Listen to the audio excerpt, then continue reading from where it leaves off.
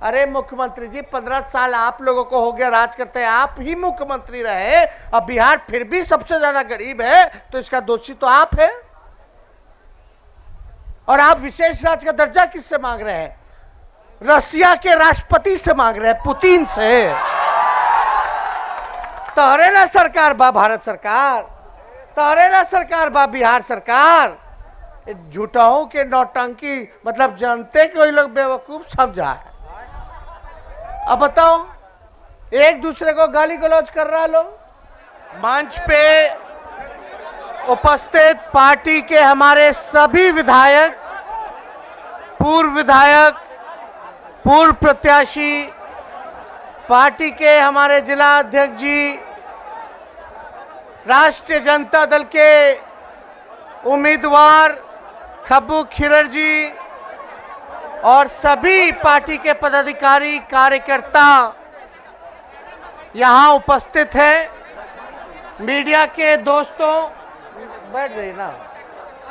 और सभी जनप्रतिनिधि, मुखिया जी, वार्ड सदस्य, जिला परिषद सदस्य, पंच, सरपंच, जितने लोग यहाँ उपस्थित हैं, हम सबका आज के नामांकन समारोह में आप सब लोगों का स्वागत करते हैं, अभिनंदन करते हैं। और मुझे पूरा विश्वास है कि इस बार जो लोकल बॉडी एमएलसी का चुनाव हो रहा है, सीतामढ़ी से लालटेन का झंडा लहराएगा। आप सब लोग देखिए, पिछला चुनाव में सब लोगों ने मिल करके मेहनत की, आशीर्वाद दिया और बिहार की सबसे बड़ी पार्टी के रूप में राष्ट्रीय जनता दल है। और से पार्टी नहीं, बल्कि हम लोगों ने तो सरकार बनाने का काम किया था, लेकिन कुछ लोग चोर दरवाजे से आकर के बेईमानी करके सत्ता में काबिज हो गए। चार, पाँच सीट इधर से उधर कर दिया। अब सत्ता में आ गए तो अभी हम आ रहे थे तो सुनने में आया है बिहार विधानसभा में कि अध्यक्ष बिहार विधानसभा और मुख्यमंत्री जी में तनातनी हुई है, बहसबाजी हुई है, जो कि इतिहास पे हम लोगों ने नहीं देखा था। जहाँ मुख्यमंत्री सदन के अंदर बिहार विधानसभा के अध्यक्ष में तनातनी हुई हो। आप देखिए, कहीं किसी का सुनवाई नहीं हो रहा, कार्रवाई नहीं हो रहा। ये सरकार कैसे चल रहा है पता ही नहीं चल रहा। कौन चला रहा है, समझ में नहीं आ रहा। बीजेपी के लोग जेडीयू को ब्लेम करते हैं, जेडीयू के लोग बीजेपी को बोलते हैं, बिहार विधानसभा के स्पीकर की सुनवाई नहीं हो रही, मंत्री इस्तीफा दे देते हैं, कोई किसी से खुश नहीं है। कोई, आप देखिएगा, हर एक बयानबाजी जो है, एक दूसरे को कोसने का में सारा समय लोग बिताने का काम कर रहे हैं। बिहार में चाहे चोर दरवाजे से आई हुई सरकार हो, लेकिन काम पे ध्यान देना चाहिए था। बेरोजगारी हटाने की ले कदम उठाने चाहिए थे, कारखाने लगाने चाहिए थे, महँगाई कम करना चाहिए था, किसान को खाद यूरिया नहीं मिल रहा। महँगाई कम करो, किसानों की स्थिति को, आय को दुगुना करो। शिक्षा, चिकित्सा, विश्वविद्यालय की स्थिति को बेहतर करना चाहिए। तो यहाँ मौजूदा सरकार आपस में लड़ करके सारा समय जो है बर्बाद करने का काम कर रहा आप देखिएगा, जनप्रतिनिधियों का कोई मान सम्मान इस मौजूदा सरकार में नहीं मिल रहा। चारों तरफ़ से अफसरशाही जो है वो लागू हो चुकी है। अफसरशाही लागू हो चुकी है। बताओ बिहार विधानसभा के स्पीकर कहते हैं कि मेरा थानेदार भी नहीं सुनता है। बिहार सरकार में कई मंत्रियों ने इस्तीफा दे दिया कि आप अधिकारी बड़े बड़े तो सुनते ही नहीं, चपरासी भी नहीं सुनता। आप समझ जाइए, यहाँ पंचायत के कितने लोग हैं यहाँ, जनप्रतिनिधि लोग। जब मंत्री एमपी बिहार विधानसभा के स्पीकर की सुनवाई नहीं हो रही मान सम्मान नहीं मिल रहा तो आप जो प्रतिनिधि हैं, उनको ये सरकार में रहने वाले अधिकारी क्या मान सम्मान देने का काम करेंगे? इसलिए आप सब लोगों से हम अपील करने आए हैं कि एक एक वोट जो है, आप जो है खब्बू खिरर जी को दे करके लालू जी के हाथ को मज़बूत करने का काम कीजिए। पिछला चुनाव में हम बोले कि हम 10 लाख सरकारी नौकरी देंगे तो ये एनडीए वाला बोला कि 19 लाख दे देंगे। ए, पूछो तो जरा 19 लाख कहाँ है? कहाँ गया 19 लाख रोज़गार रे भाई? नीति आयोग का रिपोर्ट आया उसमें हर सूचकांक में बिहार फिसड्डी राज है। हर चाहे पढ़ाई लिखाई गरीबी में सबसे ज़्यादा बिहार गरीब। हर दूसरा परिवार बिहार का पलायन करता है। यहाँ अस्पताल की व्यवस्था तो आप लोग जान रहे पूरी तरीके से बदहाली है। कोई काम नहीं हो रहा, एक कारखाना नहीं। सबसे पढ़ाने वाले लोग, जो डिग्रीधारी लोग हैं, वो सबसे ज़्यादा बेरोजगार है। कहीं कोई कारखाना नहीं लग रहा। महँगाई इतनी ज़्यादा हो गई है। ब्लॉक थाने में चले जाइए, भ्रष्टाचार इतना ज़्यादा बढ़ गया है। कि बिना भ्रष्टाचार के कोनो काम नहीं हो रहा ब्लॉक थाना में। वृद्धा पेंशन लोगों को नहीं मिल रहा, अनाज जो है वो ढंग से नहीं मिल रहा लोगों को। बेमानी हो रही है। कोई काम अगर इस सरकार ने डेढ़ साल हो गया, अगर कोई किया हो तो बता दो। बोलता कि सात निश्चय में बड़ा काम किए हैं। नब्बे फ़ीसदी जल जो है नल से आ रहा है, बताइए तो। भ्रष्टाचार हुआ कि नहीं हुआ? केवल लूट और लूट हुआ और कोई काम नहीं हुआ। और यही केंद्र सरकार का, हम नहीं बोलते केंद्र सरकार का नीति आयोग है। उसने रिपोर्ट दिया कि बिहार सबसे फिसड्डी है। तो बताओ, जो 15-16 साल से जिसकी सरकार है, एनडीए की, बोलता है डबल इंजन है। हम कहते हैं ये ट्रबल इंजन है। आप बताओ कि ये कहते हैं नीतीश कुमार जी कि अब नीति आयोग ने बोल दिया है कि सबसे गरीब राज्य है, फिसड्डी है तो हमको विशेष राज्य का दर्जा दे दे। भाजपा के लोग बोलते हैं कि विशेष राज्य का दर्जा की ज़रूरत ही नहीं। अब आप बताइए, बिहार का सरकार और भारत का सरकार एनडीए का ही ना है। नीतीश जी के मंत्री है कि नहीं भारत सरकार में? यानी पार्टनर हो गए? यहाँ भाजपा वाला है कि नहीं?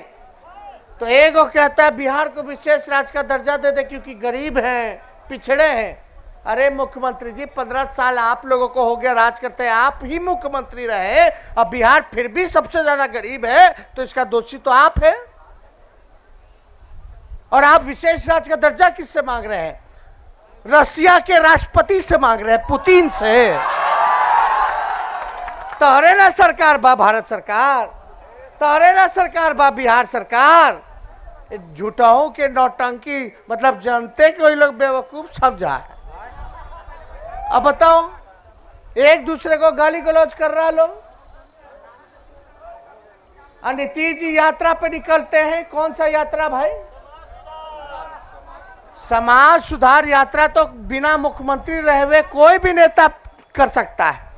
लेकिन मुख्यमंत्री अगर है तो बताओ मुख्यमंत्री जी को अधिकारी सुधार यात्रा पे जाना चाहिए था, सिस्टम सुधार यात्रा पे जाना चाहिए था, बेरोजगारी हटाओ यात्रा पे जाना चाहिए था, गरीबी हटाओ यात्रा पे जाना चाहिए था, भ्रष्टाचार हटाओ यात्रा पे जाना चाहिए था, अधिकारियों का नकल कसना चाहिए था। तो चले हैं, समाज सुधार। चलिए, अच्छी बात है, सब लोग चाहते हैं नशा मुक्त हो, लेकिन ये कैसा कैसा फरमान निकालते हो भाई? शिक्षक को बोलते हो कि जा दारू पीने वाला ढूंढ के लाओ। अब टीचर महोदय के नौकरी परमानेंट मिला है ये नहीं? सैलरी मिल ही नहीं रहा। टीचर लोग के। और टीचर लोग बच्चा लोगों के पढ़ाएगा कि खिचड़ी बनाएगा, दारू वाले के ढूंढेगा। अरे टीचर का काम है पढ़ाना। भविष्य को बेहतर करना। तो वो नहीं तो एगो हेलीकॉप्टर नीतीश कुमार जी ले आए हैं। वो हेलीकॉप्टर घूम घूम के दारू देख रहा है। अब जरा पूछो, इतना दिन से घूम रहा तो दारुआ कितना भेटाया? है कितना दारू हेलीकॉप्टर पकड़ा? अच्छी बात होती, पकड़ता तो। लेकिन आपको नहीं लगता जितना फिजूल खर्चा ही करा रहे हैं, हेलीकॉप्टर जितना घुमाए खाली दारू पकड़ने के लिए, अगर उतना में चार पाँच गो स्कूल अस्पताल नहीं बन जाता? कितना लोग का रिक्त पड़ा हुआ है? हर विभाग में, शिक्षा विभाग में, चिकित्सा विभाग में, इंजीनियरिंग डिपार्टमेंट में शिक्षा विभाग में ढाई ढाई लाख सरकारी नौकरी खाली है, रिक्त है पद। अब तक नहीं भरा गया है। बताओ, आपकी सरकार होती तो पहला ही कैबिनेट में पहला कलम से दस लाख को सरकारी नौकरी हम दे देते। लेकिन नहीं किया। खैर, जो भी है, नहीं किया नहीं किया। आप देखिएगा, ऐसा कौन सा काम ये लोग कर रहे हैं भाई? पेपर बताओ 2013 का बहाली अब तक जो है नहीं निकला। अब तक नहीं भरा गया। 2013 में सोचो, जो भरा होगा, उसका बोलता है, वो आता है लोग हमारे पास कि भैया, अब तो उम्र खत्म हो गया। तो हम बोले थे पिछले बार, चिंता मत करो। पिछला चुनाव में हम बोले थे ना कि अगर मेरी सरकार बनेगी तो जिसका उम्र भी खत्म हो गया, जो भरा था समय पे, अगर बीपीएससी की गलती है, भर्ती नहीं हुई है सरकार की गलती तो उसको भी हम नौकरी देने का काम करेंगे अरे, उम्र खत्म हो यही जो मोदी जी का नारा लोग लगाता था 2014 में आज कितना हो गया? 22 कितना साल हो गया? तो जो सोचो, जो जो 20-20 साल का लड़का 2014 में नारा लगाता था, मम्मी जी, मोदी जी मोदी जी आएँगे तो दो करोड़ रोज़गार देंगे, उसका तो सरकारी नौकरी निकल गया। निकल गया कि नहीं निकल गया? खैर, जो भी बात हो। लेकिन कोई परीक्षा ढंग से नहीं होता। मेरिट वाला को नहीं मिलता। जो चंदा चढ़ा देता, जो एग्जामों ने दिया, उसका भर्ती हो जाता। यही हो रहा है। जो चंदा दे रहा है। और आप बताइए कि बिहार एक परीक्षा बताओ जिसमें पेपर लीक ना हुआ हो। पहले ही क्वेश्चन पेपर सब जगह लीक कर जाता है। मैट्रिक का हो या इंटर का हो। लीक करता है कि नहीं करता है? पहले। और हमको तो ये नहीं समझ में आया कि सन्नी लियोनी कैसे पास कर जाती है मैट्रिक और अब ऐसे चलता है सरकार तो भाई हम ज़्यादा कुछ नहीं कहेंगे। हर जगह हत्या, अपहरण, लूट हो रहा है। सब जगह देख रहे हम पार्टी में जितने लोग मंच पे हैं, सभी विधायक लोग हैं यहाँ। सब लोग आए हुआ है। सब लोग को बोलने का मौका मिलना चाहिए था। लेकिन आप जान ही रहे आज चौदह तारीख है, बड़ा शुभ दिन है। और हम लोग चौबीस सीट पर लड़ रहे हैं तो आज सोलह जगह नामांकन लोग कर रहा है। और हम पटना से चले, वैशाली होके, फिर पश्चिमी चंपारण, पूर्वी चंपारण, सीतामढ़ी, अब जाएँगे मुजफ्फरपुर, फिर जाएँगे मुंगेर, फिर जाएँगे कटिहार। ई कोना से ऊ कोना। तो इसलिए समय कम है, इसलिए हम आते ही हम बोलने लगे। लेकिन पार्टी के जितने भी यहाँ पदाधिकारी, नेता, कार्यकर्ता है, सब लोगों को मेहनत करने की ज़रूरत है। ये कोई खब्बू खिरर जी का चुनाव नहीं है। ये जितना इनका चुनाव है, उतना आपका भी चुनाव, उतना मेरा भी चुनाव है, उतना आप सबों का भी चुनाव है, क्योंकि पार्टी चुनाव लड़ रही है। ये पार्टी चुनाव लड़ रही है। पार्टी का जो निर्णय हुआ, उसको हम लोगों को बेखूबी निभाने का काम करना। कई लोग होता है स्टेज पे, खाली फ़ोटो खिंचाओ नेता। इधर हो हो करेगा, उन्हें ले लो। तो सब पे नज़र है। कोई सोचता है कि हम नहीं देखते हैं, नहीं समीक्षा करते हैं या बोलते नहीं है तो इसका ही मतलब नहीं कि हमको पता नहीं। इसलिए हम सब लोगों से अपील करेंगे कि कोई हेरा फेरी नहीं, पार्टी लाइन पे सब लोगों को काम करना है। और जब हमें जिम्मेवारी मिली है पार्टी की तो अगर कोई गड़बड़ी करेगा तो हम उसको बख्शेंगे नहीं। चाहे कोई कितना भी बड़ा नेता क्यों ना हो, कोई कितना बड़ा नाम क्यों ना हो ऐसे लोगों की हमको ज़रूरत नहीं जो पार्टी में रह के पार्टी को दीमक की तरह खाने का काम करते और अब तो काम के आकलन पे ही सदस्यता अभियान भी चल रहा है। काम के आकलन पे ही सब लोगों को अब पदाधिकारी बनाया जाएगा। तो हम सब लोग, आप लोगों से भी अपील करते हैं। किसी की कोई पसंद है, किसी की कोई पसंद है, किसी की कोई पसंद है, लेकिन सीटुआ एक के ना है। अरे विधानसभा में कितना दो सौ तैतालीस। तो दो सौ तैतालीस से ना लड़ेगा। तो इसलिए कहते जो निर्णय हो गया, विचारधारा, नीति, सिद्धांत, इस पे हम लोगों को, अब ये बीजेपी का लोग तो नफरत फैलाता है। आज तक हम लोगों ने समझौता नहीं किया। आज सत्ता में बैठे हुए लोग काम इसलिए भी नहीं करते क्योंकि गलती कहीं ना कहीं हम लोगों में भी हम लोग धर्म के नाम पे, जात के नाम पे बटते हैं। नफरत फैलाने वालों की सुनते हैं। नहीं सुनना चाहिए। वो जानता है उसको क्यों वोट मिल रहा है। यहाँ बिहार में इतनी गरीबी क्यों है भाई? इतनी बेरोजगारी क्यों है? इतना पलायन क्यों है? इतना हर चीज़ देखेगा, तबाह क्यों है लोग? परेशान क्यों है? इसलिए लोग नहीं काम करता, क्योंकि वो लोग जानता है कि जात के नाम पे, धर्म के नाम पे नफरत फैला देंगे, हिंदू मुसलमान करा देंगे तो हमको वोट मिल जाएगा। इसलिए मुद्दे की बात नहीं करने देते लोग। इसलिए हम सब लोगों को मुद्दे की बात करनी चाहिए, मुद्दे पे रहना चाहिए। अरे सरकार है तो पूछो कहाँ है मेरा उन्नीस लाख? रोज़गार क्यों नहीं दे रहे हो?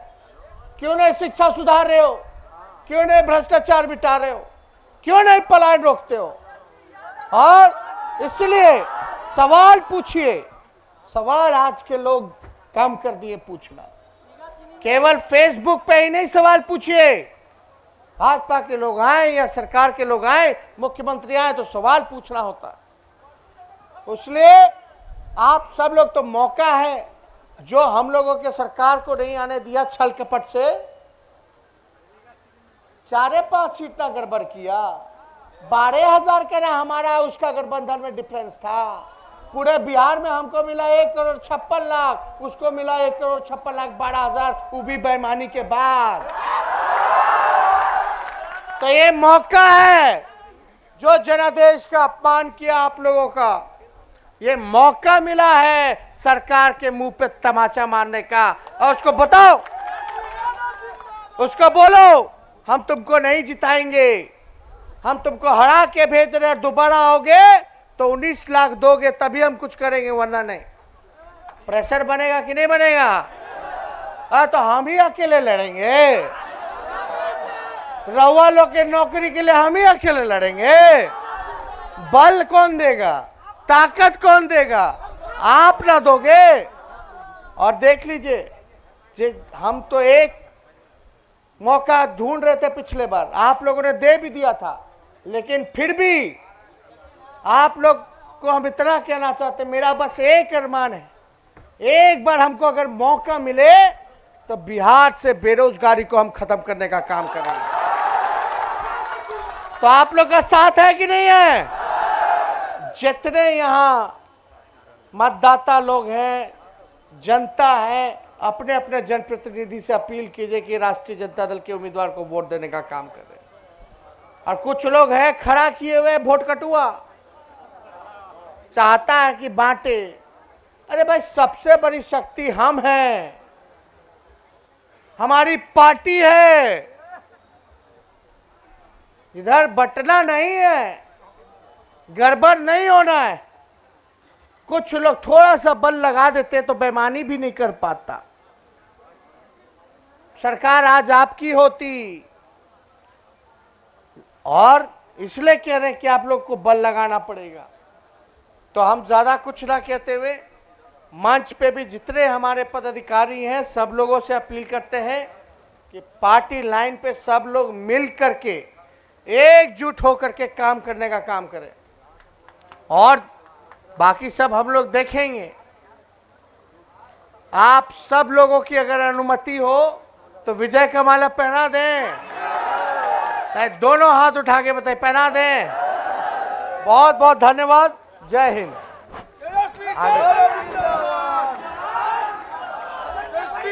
जिंदाबाद कबू खिरार जिंदाबाद।